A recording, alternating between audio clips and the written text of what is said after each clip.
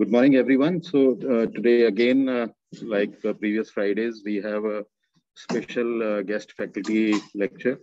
Uh, and today's topic is on uh, ventilatory support, mechanical ventilation, uh, which is very frequently required in our patients, especially post-operatively, either in very sick patients or in after major operations sometimes electively and sometimes because of the patient's uh, condition. So I have requested uh, my colleague, Dr. Ashish Jain, who's the Chief of Critical Care Medicine uh, Department uh, uh, at the Mahatma Gandhi Medical College Hospital to tell us the basic principles of uh, ventilatory support and mechanical ventilation. Dr. Ashish, please. Good morning. Myself, Dr. Ashish Jain, and first of all, I would like to thank Dr. V.K. Kapoor, sir, for uh, inviting me for this uh, morning session on mechanical ventilation. As we all know that mechanical ventilation is an integral part of uh, the patient management who is sick and uh, basically it's the core content of anesthesiology and critical care. But I would like to touch upon here the basic fundamentals of mechanical ventilations which we use during the uh, patient care, the critical care this is a picture of our respiratory system. Start from the nose and going up to till down to the alveoli. And uh, in alveoli, we know that uh, there are approximately 30 divisions of the tracheobronchial tree, out of which uh, the the initial 20th division, there is the conductive system and the conductive zone, which does not take part in the gas exchange. Only beyond the respiratory bronchioles, till the alveoli or the alveolar sacs, they are the primary unit of gaseous exchange. Uh, there are three basic zones which were uh, identified in the lung. One zone is the uppermost zone where the ventilation is good, but the perfusion is you know quite low.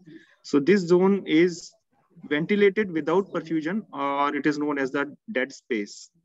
The middle zone where the perfusion as well as the ventilation is optimum is the area where uh, normal gaseous exchange take place and in the lowermost part of the lung, uh, where the perfusion is quite good, but because of the atelectasis of the alveoli, the ventilation is quite poor. So this is the zone of the shunting, zone three. And our physiology and uh, mechanical ventilation depends upon these zones. This is the very old picture uh, which is taken from the Guyton physiology. And we know that there are four kind of volumes and four kind of uh, capacities. And for us, the most important is the tidal volume, which is the normal uh, around 500 ml volume, which we usually take during our quiet and uh, you know normal respiration. And if we can can take a deep breath in, it is the inspiratory reserve volume. If we exhale out completely, this is the respiratory reserve volume. And what remains in the lung is the reserve volume or the residual volume. In the ventilation or uh, mechanical ventilator, we usually uh, depends upon the tidal volume, but we can extend or we can utilize some sort of expiratory reserve volume and inspiratory reserve volume also to prevent that atelectasis and to apply the PEEP. One of the very important physics law which applied over the lung mechanics is the Boyle's law, and it indicates that increase in the tidal volume decreases the pressure. So how we breathe, uh, whenever there is increase in the H positive ion or acidosis or carbon dioxide in the blood, our central and peripheral chemoreceptors, they stimulated and it sends signals to, uh, to our uh, diaphragm. The diaphragm goes down and it increases the volume of the thoracic cavity. Because the pleura is adhere to the diaphragm and the rib cage, it also expand. But lungs lags behind and it produces a pull or a negative pressure, which is called a transpulmonary pressure. This pressure is negative pressure. And uh, because of this negative pressure, which is by measure around, around five to six mm of Hg, the flow of gas starts from our nostril to the alveoli. So the basic thing is that the diaphragm goes down, it increases the volume, the volume increases, the pressure decreases in the thoracic cavity, and the gaseous flow starts in. While in expiration, the signal shut down, the diaphragm goes upward in the resting position, When the diaphragm goes moves upward, the thoracic cavity size decreases, the pressure increases, and the gases were exhaled out. In the normal day-to-day -day respiration, we inhale by the negative transpulmonary pressure. But nowadays, in the mechanical ventilation, we use the positive pressure ventilation in which we give oxygen or the air mixture through a conduit into the lung. So the physiologically, both are the things different. So whenever we push something in the lung, it produces some pressure, which is necessary to cause a flow of the gas and increases the volume. The pressure, volume, and flow, these are these three things are the most important thing, and they are all dependent on each other. Ventilator usually control one of the thing and rest two of the things, they change depending upon the compliance and the resistance of the lungs. Then the question arises, what is compliance?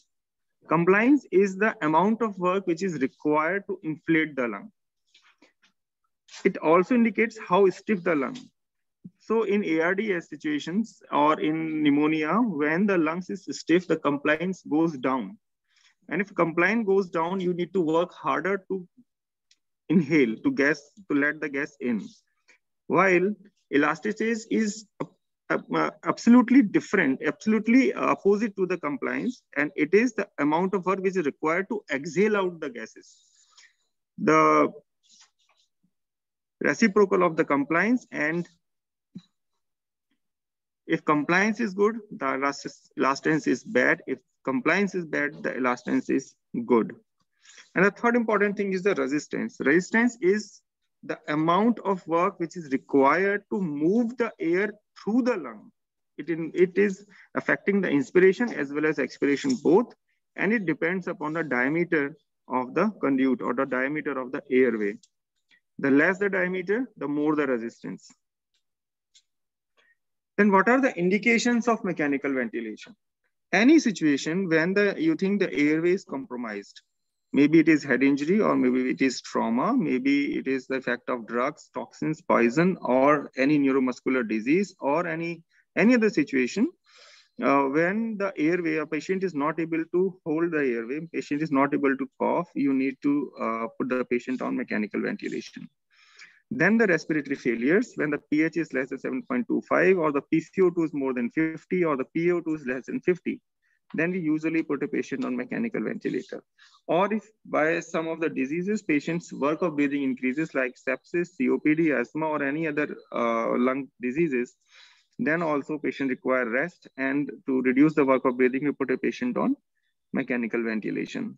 And what we achieve, we support the illness because we don't want patient to uh, expend its energy on the respiratory part only. We want the patient to support his healing by the energy, whatever energy the patient is having. Reversal of hypoxemia and reversal of acute respiratory acidosis, these are the two main indicators for the uh, mechanical ventilation. Relief of respiratory distress, if patient is having uh, some sort of distress because of any underlying condition, the mechanical ventilation uh, always give help to the patient resting of the ventilatory muscles like uh, respiratory failure, COPD exacerbations, or post-surgery pain. If you have a big incision also, then the patient also having pain and uh, working against it, or if patient is having a rib fracture, then also uh, patients can be relieved with the help of mechanical ventilation. It also helps in reduction of the intracranial pressure because if patient is agitated, the intracranial pressure rises. So we need to keep the patient down and knocked out and uh, this will help in stabilizing in reduction of the intracranial pressure. There are two kind of uh, ventilatory support is available. One is a negative pressure ventilation and, uh, and the positive pressure ventilation. Nowadays, negative pressure ventilation is not used. In earlier uh, era, 1920 and 1930, the negative pressure ventilator were, were introduced and uh, it worked very well during the polio epidemic. But nowadays, uh, only positive pressure ventilation is being used. And uh, positive pressure means we are pushing air through a conduit or a tracheostomy tube or a endotracheal tube into the lung of the patient and we provide uh, gaseous exchange or we provide uh, oxygen to the patient. there are four component of a, any kind of mechanical ventilation. That means which type of breath we want, what are the control variables, what are the phase variables, and what are the conditional variables. So what kind of breath a patient can have when a patient is on mechanical ventilator? Number one, a mandatory breath. The mandatory breath is a breath, is a breath which start and ended by the machine. That means patient is not taking any breath each and every breath is given by the machine. It is started by the machine. It is ended by the machine. Spontaneous breath. A patient can take a spontaneous breath on ventilator also, which is started and ended by the patient only. And third is assisted breath, which is initiated by the patient and supported by the machine. So a combination of all these three kind of breath is there when a patient is taking uh, a ventilatory support. Then what are the control variables? Control variables could be pressure or volume or flow. As we have discussed that if there is a change in the pressure, there will be a change in the volume and the flow depending upon the compliance and the resistance of the patient. And one of these things will be controlled by the ventilator. If patient is on pressure control, then the pressure is under control of the machine. If patient is on volume control, then the machine determines the volume. And if it is supported, then the flow is determined the machine. And rest too will be variable according to the, depending upon the uh, resistance and the compliance of the patient lung. Then what, the, what are the phase variables? Phase variables means the change of inspiration to the expiration, how the respiratory cycle goes into the, uh, uh, when a patient is on mechanical ventilation. So trigger, the trigger variable means anything which initiate the breath so it could be a patient who can initiate the breath. It could be time. That means we set a respiratory rate. Suppose we set a respiratory rate of 15. That means every fourth second, the breath will be initiated by the machine. Limiting or the targeting variable means how long this inspiratory cycle will continue. Who will determine this? It will determine by the volume or the pressure. If a patient is on volume control, if say we have set 400 ml of volume, so by the time 400 ml is delivered to the patient, the inspiratory cycle shut down and the expiration starts. Similarly, pressure control, we set a pressure. Once we achieve that pressure, the inspiration stops and expiration starts. Cycling variable, cycling means change from inspiration to expiration. So it is either the time uh, which we have set by the respiratory rate or the flow Flow cycling usually happen during the pressure support ventilation. When the patient starts exhaling, the flow decreases. And when the flow decreases up to an 80% of the normal uh, highest peak, the cycling occurs. And the baseline variable is the PEEP. PEEP is the positive end expiratory pressure, which always remains constant throughout the inspiratory and expiratory phase of the respiratory cycle. So coming to the basic modes of ventilation, one is the control mode ventilation. What do you mean by control mode ventilation?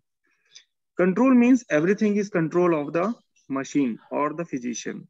Patient neither is take, initiating the machine nor he is ending the patient.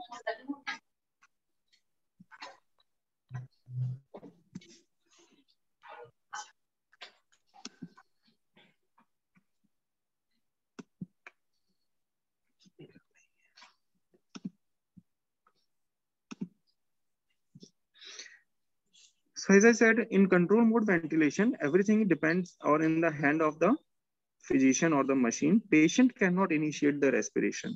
So when a patient cannot initiate the respiration,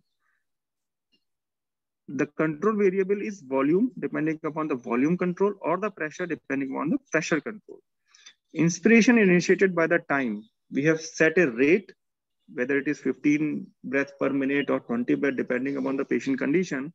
And after each time, the cycle or the breath cycle is initiated by the machine. It is limited by the volume in a volume control or a pressure in a pressure control patient um, mode.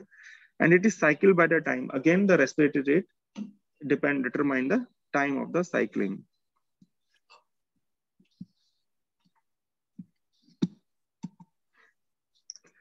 In any ventilatory uh, monitor, you can see these three variable and these three kind of graph, which always in the red pressure, which always in the blue or in the yellow, and volume either in the gray or in the yellow. So these are the international uh, color coding for these three graphs. So in a volume targeted ventilation, that means volume controlled ventilation, we control the volume. Patient initiates the breath and achieve the volume. Pressure and flows depending depends upon the patient variables that are the compliance and the resistance. If the compliance low, then volume we achieve, but the pressure will be very much high and the flow will be very low. If compliance is good, patient lungs are very compliant, then the volume we achieve, the pressure will be low. So the chances of trauma is low. It is very important when we are dealing a ARDS patient to determine these factors because we need to limit the pressure also. If we allow pressure to rise uh, more than 30, then there are more and more chances of getting uh, volume trauma or barotrauma or ventilator-induced injury to the lung. In a COPD patient, the things are different because the elasticity is quite uh, quite low and the compliance is quite good. So patient achieve the volume, but the pressure is quite low. The flow is determined by the resistance, which is the bronchospasm. So if flow is decreases and the resistance is quite high, then we need to decrease the respiratory rate to allow the patient to get the appropriate amount of volume. Similarly, in the pressure control ventilation, the pressure is controlled. You can see the flat line there. The pressure is controlled. Pressure will not go beyond this, but volume depends upon the patient compliance. If compliance is good, volume will be achieved much uh, more in comparison to the low compliant conditions. Then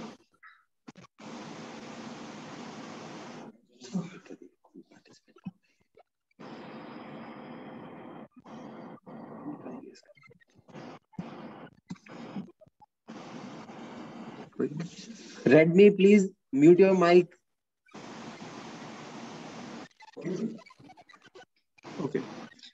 Nowadays, uh, none of the ventilator is 100% control mode ventilation, having control mode, because each and every ventilator is having assist control mode ventilation.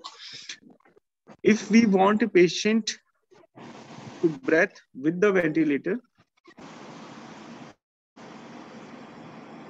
So in the assist control mode ventilation, the breath is initiated by the patient or it could be initiated by the machine.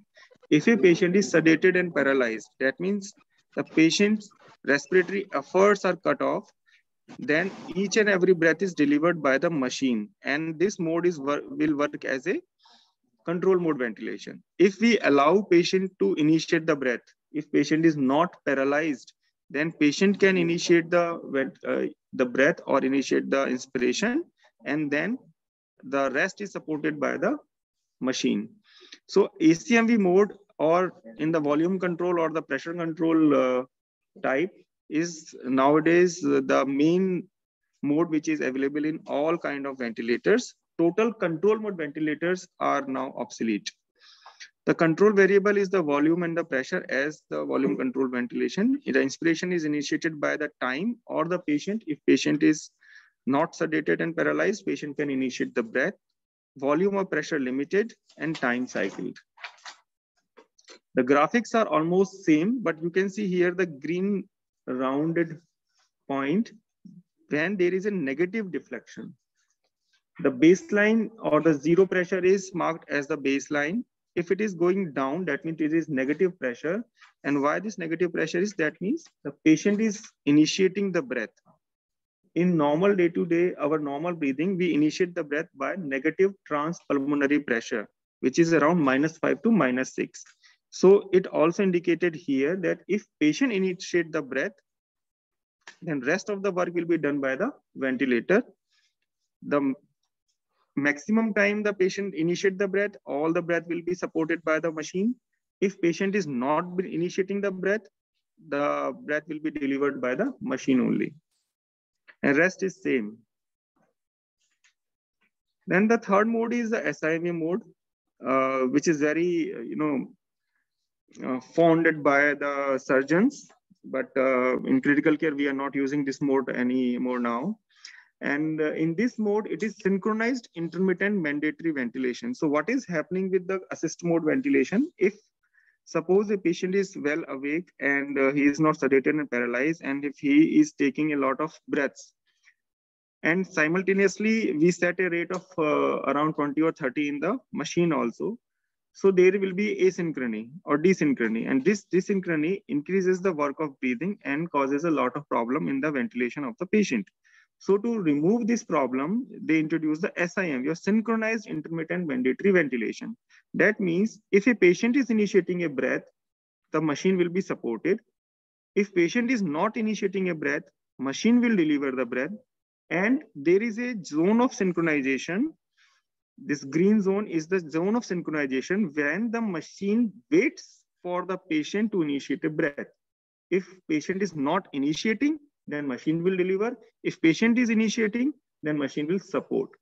So this synchronization zone is the 25% time of the previous breath which is uh, taken by the patient.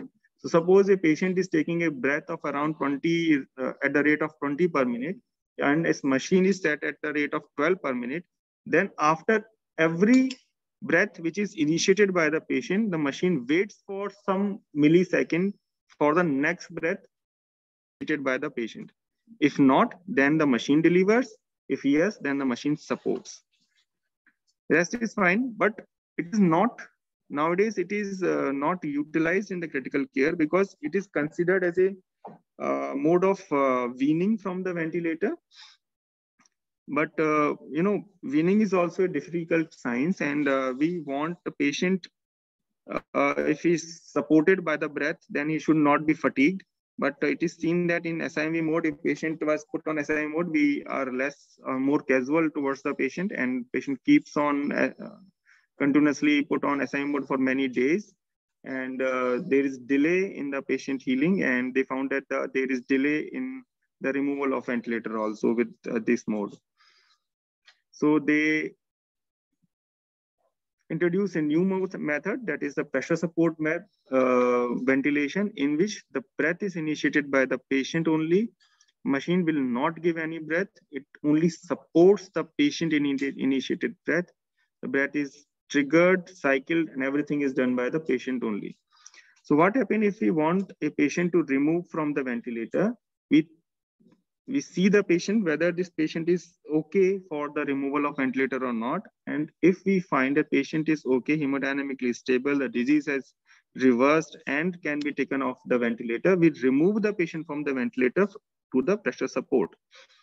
If patient is doing good on the pressure support, he can be weaned off from the me mechanical ventilator.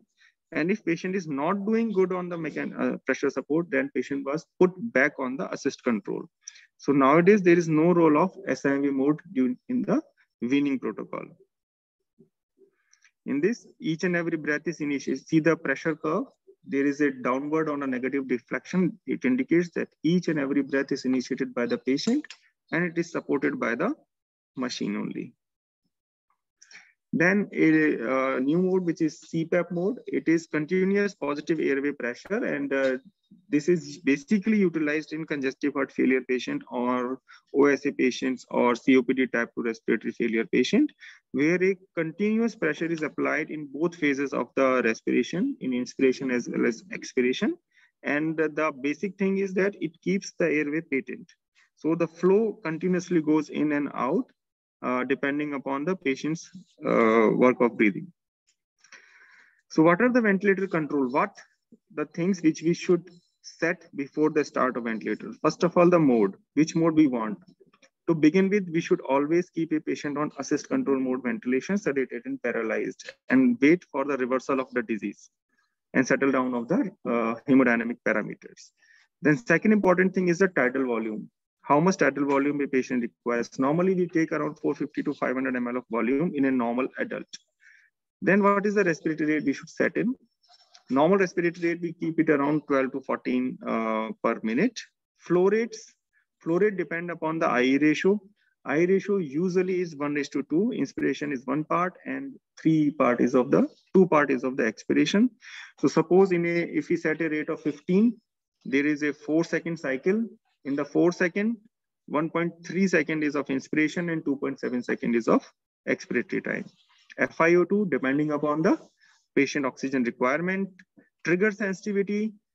If you want to keep uh, want patient to initiate the ventilator, we keep the trigger in minus, minus two or minus three, so that the patient can initiate very easily. And if we do not want to keep a to initiate the ventilator by the patient, we keep the trigger plus five or plus six, so that patient has to work from minus five or minus six to plus five to initiate the machine.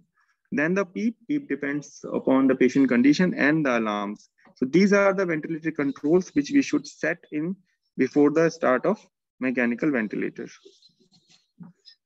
Then these parameters are, uh, you know, basically guided by the what is the problem the patient is having, whether the patient is having hypercapnia or hypoxemia. And these two basically uh, depend the tidal volume, FiO2, respiratory rate, and the PEEP uh, by the uh, when we did the setting in the uh, in the machine.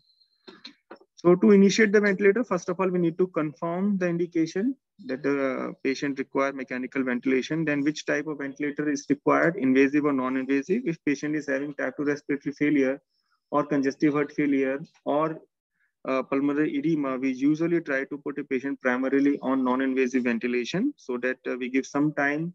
We can go for the dialysis also uh, for few hours and then patient can be reversed. But if patient require uh, invasive support, then put patient directly on the invasive support. Then we check the connections and the circuit and then the, we do the self-test. Self-test is done by the machine only. It tests the compliance, the leakage, the resistance of the circuit itself. And uh, we select the mode, select the variables, select the alarms. Then we connect it to the patient and then for few minutes, few initial minutes, we see the tidal volume which is being delivered to the patient, what is the pressure patient lung is creating, and readjust the setting depending upon the pressure and the volume which is delivered to the patient. The goal of ventilation is to facilitate the oxygen release and maintain the normal PaCO2. So our lung basically are doing the two primary functions, release of the carbon dioxide and uh, oxygenation of the blood. So for carbon dioxide release, there are two variables. One is the volume or the minute ventilation. Uh, two variables. One is the tidal volume and the respiratory rate, which is the most important factor. And these two factors in the ventilator also determines the carbon dioxide exhalation. So if patient is having hypercarbia, we need to set a higher respiratory rate and fix the tidal volume because we cannot increase tidal volume beyond 8 ml per kg of the patient ideal body weight. So we can have the liberty to increase the respiratory rate. But that is also determined by the presence of auto PEEP in the patient. And uh, in the context of the ICU, there are many situations in which the patient carbon dioxide levels are quite high, like the fever, sepsis, injuries, feeding, surgeries, atelectasis, lung injury, ARDS. In many of the other conditions, patient is hyperventilating. And uh, for the carbon dioxide, we set respiratory rate and tidal volume. For oxygenation, we have two variables to set in. One is the FiO2 and second is the PEEP. PEEP, we cannot uh, increase up to an extent, uh, only up to 14 or 15 PEEP we can give, or in certain situations, we can go beyond 15, we can go up, give up to 20 PEEP to a patient, and FiO2, we can go maximum up to 100%. So with these two variables, we can uh, determine the delivery of oxygen to the patient. Here in this picture in green zone, we can see there are zone one, two, and three. The zone one is the zone of dead space ventilation, where the ventilation is good, but perfusion is low. This is the uppermost portion of the lung. In here, the alveolar pressure is the maximum, which is more than the arterial pressure and more than the venous pressure. So the vessels are collapsed, but airway is patent with air inside. But because there is no perfusion, it is not taking part in the gaseous exchange. Then the zone two, where the arterial pressure is more than the alveolar pressure. So this zone is well perfused, well ventilated, and gas exchange usually occurs in zone 2. Zone 3, it is the most lowermost part of the lung in the supine position, uh, in the sitting position. And due to the gravity, the arterial pressure and venous pressure more uh, both are more than the alveolar pressures. Alveoli are collapsed because of this pressure, and this zone is having a loss of lot of atelectasis. So here there is a lot of shunting occurs, but because of shunting also VQ mismatch developed, and uh, it also hampers the ventilation. These three zones are also determined in the supine position also. So the lowermost part is zone three and uppermost part will behave like zone one. So what are the settings which we can adjust to improve the oxygenation? We can increase the FiO2, simplest maneuver to quickly increase the PaO2 of the patient. And we should try to keep FiO2 uh, less than 60 if we can, because more and more oxygen will increase and more and more free radical injury to the patient. If despite of increasing the FiO2, the, adequate, the oxygenation is not adequate, then we can increase the PEEP of the patient. What PEEP causes? PEEP increases the FRC. PEEP recruits the collapsed alveoli and improve the VQ mismatch in the zone 3. So by increasing the diameter of the alveoli, we prevent the atelectasis and we allow air to go in in the well perfused zone so that the gas exchange will take part. And these two variables are there, FiO2 and PEEP, which determines the oxygenation of the patient. The higher PEEP will reduces the venous return and the cardiac output, and that can also uh, cause hypotension and uh, can cause a hemodynamics abnormality in a, uh, in a patient. So we cannot increase PEEP up to or more than 14 to 15. In very uh, certain situations only we can go up to 20 PEEP. The disadvantages of high PEEP are the increased intrathoracic pressure, which require pulmonary arterial catheter. We, we cannot uh, measure intraarterial pressure very correctly without the placement of a esophageal transducer and it may cause barotrauma and volume trauma also. And what we can uh, do to improve the ventilation, first of all, we can go up to 35 breath per minute to a respiratory rate. Then we can increase the tidal volume to an extent of 10 ml per kg of ideal body weight then we can reduce uh, the generation of carbon dioxide. Like we can reduce the muscular activity. We can keep the patient sedated and paralyzed. We can control the seizures. We can uh, remove the carbohydrate uh, diet from uh, the patient feed and we can control the hypermetabolic state. So that the production of carbon dioxide can also reduced. Then we allow the permissive hypercapnia. We uh, uh, try to keep a ph more than 7.25 and if this we can achieve this with a little bit higher carbon dioxide. We, uh, you know, we can uh, allow the carbon dioxide to retain there. Then we can go for the I ratio or inverse ratio ventilation. Like if uh, we want to exhale out the carbon dioxide, we can increase the I ratio from 1 is to 2 to 1 is to 3, 1 is to 4, uh, depending upon the respiratory rate and the lung uh, compliance. Then the plateau pressures, we try to reduce the plateau pressure or to keep it below 30 mm of edges to minimize the barotrauma. These are the alternative mode of ventilations like uh, high frequency oscillatory ventilation, which is not now obsolete from the adult ventilatory techniques, which is it is uh, being uh, utilized nowadays for the pediatric population. Second is uh, prone ventilation, and uh, we have seen very good results of prone ventilation in this COVID era, and ECMO as well as the airway pressure release ventilation. So these are the very new modes of ventilation techniques which uh, helps the patient uh, basically in the ventilation and oxygenation. Then before putting a patient on, on a mechanical ventilator, we can give certain things to a patient, like we can give some drugs or nebulize the patient. We can provide theophylline, steroids, and we can do the tapping, spirometry, physiotherapy, pain control, uh, steam inhalation so that we can reduce the spasm of the patient. If these all are not working, we can go for the CPAP or BiPAP. If that is also not working, we can go for the intubation of the patient.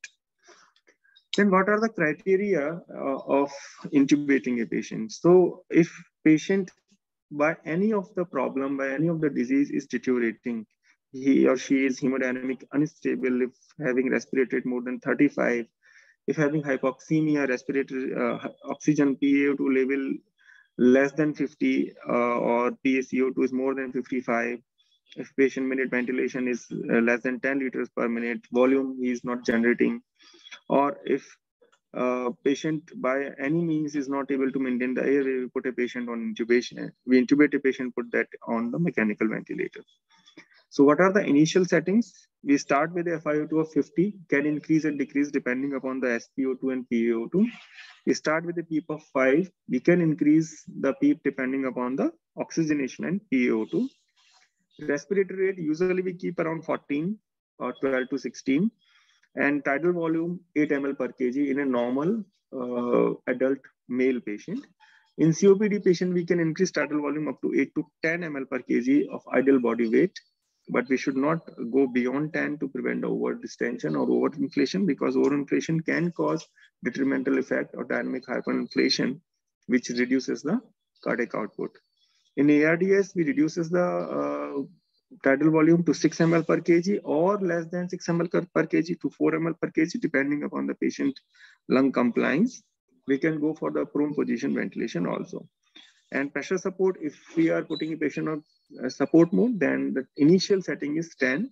We adjust the setting depending upon the patient compliance, lung and PO2 and PaCO2 levels. Then what are the criteria or the, of the extubation of the patient? So uh, before extubation, like first thing is that the disease or the condition for which a patient is intubated should have been stabilized or reversed. This is the most important thing. Like if you put a patient for surgery uh, only, then if the anesthesia drugs effects goes down, if patient pain is controlled, patient is conscious, alert, and hemodynamically stable, we can remove the ventilator and can extubate the patient after a few hours only. And if some patients having residual effect of some anesthesia drug, then we should keep patient for 24 hours on the ventilator. And then patient should be hemodynamically stable. Patient should be uh, should not be on any vasopressor support, should not uh, be planned for any hemodialysis, should not be planned for any recent uh, any surgery in near future, or for any procedure for which like MRI, for which patient requires intubation uh, in the near future. Then patient uh, blood pressure um, should be very much controlled by without the vasopressor. If vasopressor is there, then it should not be too high. Like NORAD or vasopressin support should be uh, like two to three ml per kg per um, hour if it is going very minimum amount, minimum dosage if it is going, then we can extubate a patient. Patient should be conscious, should be following, and should have an intact cough or gag reflex before extubation. If patient is not having cough or gag reflex, if the secretions is quite high, then we should not extubate, rather go for a tracheostomy to the patient. Then patient should be spontaneously breathing and uh, ventilatory setting should be minimized. FiO2 requirement should be around 40%. PEEP should be less than 8. PO2, FiO2 should be good and pH should be more than 7.25. Then which approach should be uh, followed. Nowadays, we are following the pressure support uh, weaning methodology. We directly put patient on pressure support, see, and wait for 30 minutes to 120 minutes, what is happening with the patient. If CO2 is, remain, uh, is uh, starts retaining, if uh, patients becomes more hemodynamic unstable, if respiratory rate is uh, rises more than 35, if saturation goes below 90, then we again switch to control mode ventilation. If patient remains stable throughout two hours, and if ABG is stable, patient is conscious, coughing, gag is okay, hemodynamics remain stable, then we can take out the ventilator from the patient. Then comes the spontaneous breathing trials. These trials which usually uh, perform on each and every intubated patient daily, uh, on daily basis in the morning hours. We stop the sedation of the patient. We start, uh, reduces the ventilator setting reduces the PEEP, reduces the FiO2, put a patient on pressure support ventilation, and we ask patient, we see the patient how he is behaving. So spontaneous breathing trials or spontaneous awakening trials, both are given daily to the patient to see the readiness of the patient uh, for the extubation and the weaning. And there are certain field spontaneous breathing criteria, which is very important. If after putting a patient on spontaneous breathing, if respiratory rate goes beyond 35 for more than five minutes, if SpO2 is less than 90, if heart rate is more than 140, or there is rise in more, more than 20 uh, heart rate of the baseline, means if support it is 100, if it crosses uh, around 130, then it is a fail criteria. Systolic blood pressure, more than 180 or less than 90 or changing 20% of the systolic blood pressure. And if sustained increased work of breathing is there, as patient is like taking uh, labored breathing or cardiac arrhythmias appears, if pH is less than 7.30, then we should avoid extubation or weaning. Then we should put patient again on the control mode ventilation.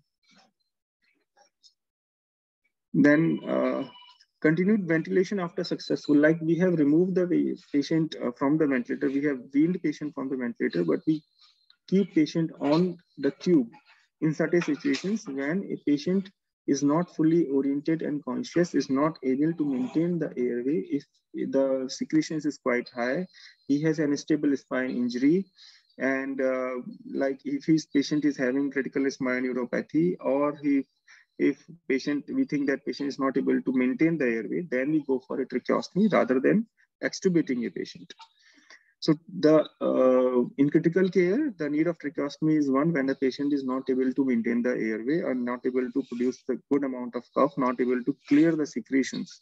Then we put a tracheostomy. Uh, Long-term complications of tracheostomy, we all know that um, it can cause tracheal stenosis or uh, a, a bleeding from the tracheostomy site or uh, procedure-related problems are there. But it is very useful tool after five or six days of ventilation if we think that the patient is requiring more and uh, more uh, ventilatory support or patient is not able to be extubated we put a patient on tracheostomy so that we can do the suctioning pulmonary toileting physiotherapy and it is very easy to put a patient back on the ventilator with the help of tracheostomy thank you sir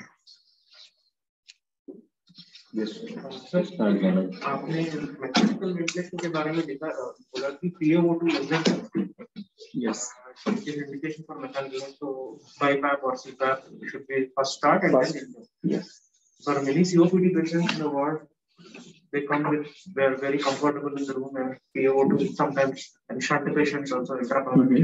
mm -hmm. What to do for them?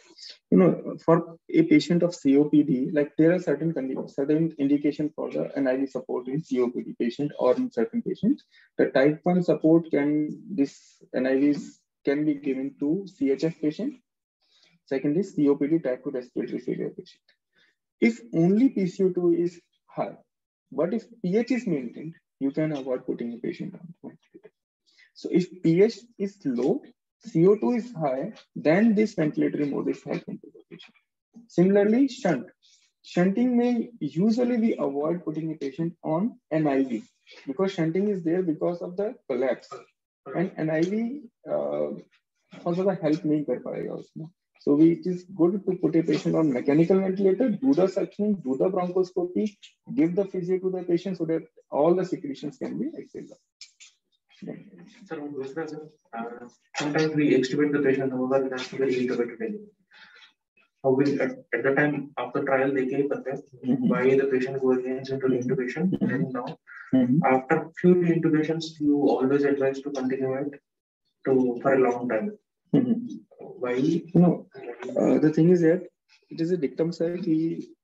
आप patient को एक या दो trials दे सकते हैं। Like ideally तो if you extubate a patient patient should remain extubated for more than 24 hours अगर वो 24 आवर्स में रीइंट्यूबेट हो रहा है then there is a decision problem आपने ढंग से एसेस नहीं किया उसकी सारी चीज़ें before extubation. So there could be electrolyte imbalance, there could be hypocalcemia, there could be hyperphosphatemia, there could be hypomagnesemia, there could be muscle fatigue, there could be uh, nerves and neurons like a critical neuropathy patient. Patient could have harboring the infection and which is now evident. The secretions could be high. So there are multiple problems which is apart than the normal spontaneous breathing and awakening trials, which are the factors for the extubation.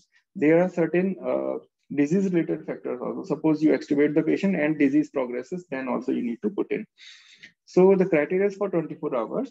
But yes, if patient is reintubated for several times, then we need to search for some other reasons. Like many patients we have find out myasthenia gravis uh, in repeated uh, intubation attempts.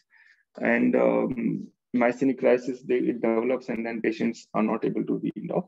In that situation, we try to keep patient on tracheostomy. हमारा post of patients just for my knowledge Mm-hmm. positive mode is all by the machine Which made Pos- positive mode positive mode. yes so Mhm. all by the machine uh, all control is by the machine Mm-hmm. assisted mode is uh, will more machine will assist the patient Mm-hmm. and can come spontaneous is complete this thing Yes. so this order will be first the patient if we sedated it will be on the positive mode then Mhm. comes to assisted then Mhm. comes to spontaneous in Yes. this order Yes. Always when you initiate a patient on mechanical ventilator, we you should give 24 hours or 48 hours to the patient a situation where he is calm and uh, the respiratory he is not working actually. So whatever energy because uh, now the concept is of energy sir कि आपकी uh, कितनी energy कहाँ पे utilise हो रही है? Patient sepsis में है या पेशेंट किसी भी अदर डिज़ीज़ की वजह से उसको हीलिंग के लिए टाइम चाहिए हीलिंग के लिए एनर्जी चाहिए। And if you are wasting his or energy on the breathing part patient is not feeding patient is having lot of electrolyte and other fluid issues so अगर वो सारा energy आपने breathing में waste कर दिया then उसका healing process delay हो जाता है। सो so, इनिशिएट करने के 48 आवर्स तक आप पेशेंट को सडेटेड रखिए पैरालाइज रखिए। Then you remove the paralysis, keep a patient on sedated so that control mode converts into assist control mode. And then you start giving spontaneous breathing trials or pressure support trials. Uh, sir, what, are, uh, what is the approach for patient of uh, respiratory acidosis? How do we change the uh, settings in the ventilation? As respiratory acidosis, that means patient is having hypercarbia. That could be because of n, n number of situations. Okay, so you need to initiate the ventilator. अब आपके दो parameters है. One is tidal volume, second is the rate. So first you increase the, the tidal volume to maximum maximum. That is 8 ml per kg of ideal body weight. Okay. Once you have achieved that, you increase the respiratory rate. But here we need to see whether the auto peak is generating or not. If patient is not generating any auto peak, auto peak means you are inhaling, but you are not able to exhale out completely. So some air is retaining in the lung after each breath. So your lung keeps on expanding. And it is creating a dynamic hyperinflation kind of condition also. So to treat that, you need to give bronchodilators, steroids, and you need to increase a little bit of PEEP also to counter, the auto PEEP. So increase the rate if there is no auto PEEP. Increase the tidal volume. Check the I ratio. You can increase to 1 is to 3 also. And then wait. After two hours, you repeat the ABG. If uh, suppose CO2 is further rising, then you need to readjust the set ventilator setting depending on this.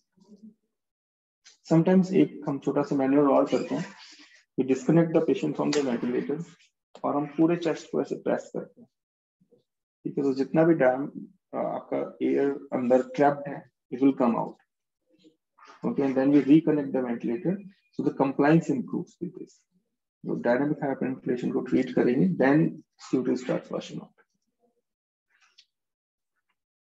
हम देखो chat में कोई question doctor इसलिए आपने कहा कि nowadays you are not using SIMD yes sir फिर लेकिन जब आपने उसमें एक में ये लिखा हुआ है जनरल में कि what all you do with Sir, well, most of the time anesthesiologists prefer to put a patient on SIV mode, but we are in critical care to because SIV में सर एक अच्छी चीज़ क्या है आप patient को डाल दीजिए and you can move around आप और दूसरे पेशेंट देख सकते हैं but then uh, patient is likely to become a ventilator dependent the sense that हाँ उसमें टाइम मतलब एक्सट्यूबेशन में डिले हो जाता है वीनिंग डिले हो जाती है बिकॉज़ आपने आज सुबह सेट कर दी अब आप कल सुबह आके देख रहे हैं आपके पास इतनी मैन पावर नहीं है सो पेशेंट को हार्म नहीं हो रहा पर आप डिले कर रहे हैं तो chances of other things like infection will increase pressure support mode में आपको वहीं रहना होता है। आप 24 घंटे अगर आपकी ड्यूटी किसी की है then you can see the patient on ventilator pressure support ventilation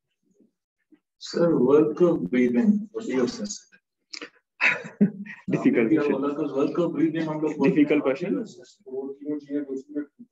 नहीं सर दो तीन चीज़ें। ऑब्जेक्टिवली देखना है तो पीसीओ2 देखना है। पीसीओ टू देखना है है ना? और या रेस्पिरेटरी रेट देखना low PCO two would imply higher work of both high PCO two as well as low PCO two implies high work of breathing initially if patient PCO two is low that means respiratory is high patient is working very hard then it start failing muscle start fatigue the CO two will rise very rapidly so both of the things are associated with work of breathing so how do we know one of the major issues is when we're going to extubate a patient, is his work of breathing, is his work of breathing too much? How do we assess that? Simple thing is that you put a patient on spontaneous breathing trial. Yeah. Give a trial, reduce the rate, reduce the support, reduce the FiO2. FiO2 comes down to 40. Rate, it, because it is given by the pressure support ventilation, so rate is limited by the patient only. तो patient जितना भी initiate करेगा वो करेगा support हम उसको छह से आठ रखते हैं टेन रखते हैं सो फाइव का पीप फाइव टेन का support total support is fifteen given to each and every spontaneous breath which is initiated by the patient now you look the patient if the respiratory rate is going beyond 30 or 35 you can see patient is breathing like तो थोड़ी देर में fatigue हो जाएगा initial so, तो आपका CO2 कम रहेगा या fall हो जाएगा but after few hours it will rise again. So this is the one thing. Second thing, जितना ज़्यादा patient breathe in breathe out करेगा, उसका हेमोडायनमिक पैरामीटर चेंज रहेंगे। टैकीकार्डिया सबसे पहली चीज़ होती है जो आपको देख सकते हो कि रेस्टिंग जब हमने शुरू किया था 90 था और now it is 140 130 so it if there is no pain then it's also increase indicates indirectly the high work of breathing तो उस समय हम क्या करते हैं एक बार नेबलाइज करा के देखते हैं सक्शन करके देखते हैं थोड़ा कॉफ करा के देखते हैं अगर उससे वो सेटल नहीं होता है तो फिर आपको वापस डालना है Do all patients, most some patients are okay to go for, some require ATRA as well. Is there a reason why some of them are we need to give the relaxants to all? Or? नहीं केवल first 24 hours में जो मैंने कहा क्योंकि वो better होता है कि फ़र्स्ट 24 आवर्स में जो मेडिकल पेशेंट्स है उसमें हम उनको पैरालाइज करके रखें बिकॉज़ मेडिकल प्रॉब्लम्स एकदम से 24 घंटे में रिवर्स नहीं होंगी। इट टेक सम टाइम जो भी इतना रिकवर आपकी सर्जरी में जो पेशेंट आ रहे हैं पोस्ट ऑपरेटिव आ रहे हैं if you want them to be sedated paralyse start some paralytication otherwise sedation is enough for it fentanyl is preferred because it is having a good analgesia propofol also it is good it is you know analgesia as well as some sort of muscle weak muscle paralysis भी आता है उसके साथ पर good analgesia by propofol midazolam बहुत weak होता है short acting होता है जनरली प्रेफर नहीं करते हैं एंड वैक और एट्रा जब ज़रूरत है उसका work of breathing is determined by both inspiration or expiration or expiration remains both, both both so does PEEP increase work of expiration work of breathing PEEP decreases work of breathing PEEP will decrease work of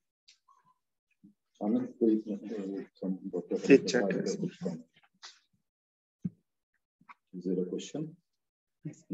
One question Dr. Ben, uh, what is the role of bronchoscopic toilet or uh, uh, bronchoscopic clearance of the uh, airway? Uh, sir initially it was thought that uh, daily when bronchoscopic clearance should be done it was a concept after before you know year in 2005 and 10 it, this concept was introduced वो ये कहते हैं कि छोटे छोटे जितने भी आपके एल्वलाई एटेलेक्टेसिस हो रहे हैं सिक्रेशन से you can take it out after giving physiotherapy do a quick suction and come out but it was seen that it is not giving any benefit over a normal tracheal suctioning. So nowadays, uh, we are giving bronchoscopic toileting only in patient when there is collapse or when we want to collect a sample from a, a particular segment of the lung. Otherwise, physiotherapy followed by a normal tracheal suctioning is uh, indicated nowadays. And uh, the drawback of uh, daily repeated bronchoscopy is that we are reducing the PEEP to the patient because we need to open up the, the channel and uh, we are creating more hypoxia to a patient. We are introducing some fluid inside the patient uh, tracheal bronchial tree and that fluid can cause some infection to the patient. And repeated touching of the bronchial wall can causes edema and hyperemia to that part of the lung. So only if indicated, then we are doing nowadays. Daily ka abhi filhal nahi. so how do you say that it is not consolidation it is collapse So uh, there are many factors. We can see the X-rays also of one thing because उसमें आजकल तो X-rays में भी दिखता है lung ultrasound में भी आप कोलैप्स और कंसोलिडेशन को चेंज डिफरेंट कर सकते हैं एंड थर्टीन फिजियोथेरेपी आप डेली कर रहे हैं अगर उससे कोई चेंज नहीं आ रहा then we can go for the bronchoscopy